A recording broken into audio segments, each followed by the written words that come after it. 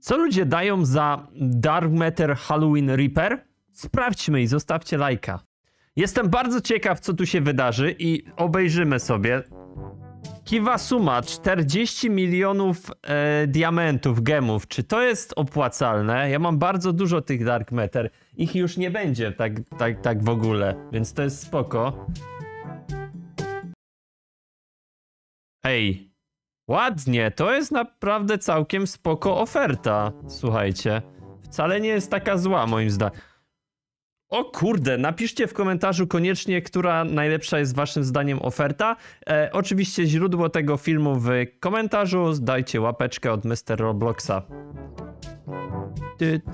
No powiem wam, okej, to są te pety. No szczerze to ja ich tak nie potrzebowałem. Po co mi one, nie? Okej, tu są takie.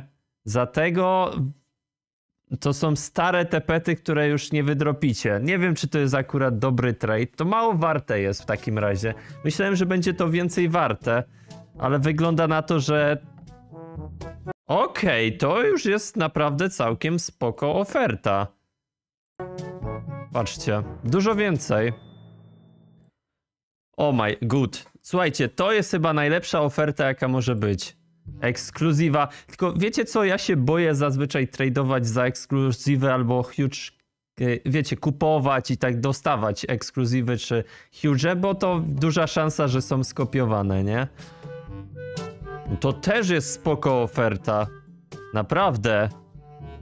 I to, te ekskluzywne oferty są naprawdę spoko. Która waszym zdaniem jest najlepsza? Dajcie znać.